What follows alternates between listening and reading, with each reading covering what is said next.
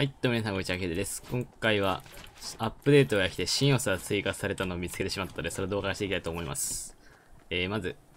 何が追加されたかというと、はい、ダッシュしながらスライディングできるようになってるんですよね。これ、微妙にいらないアップデートです。それでは、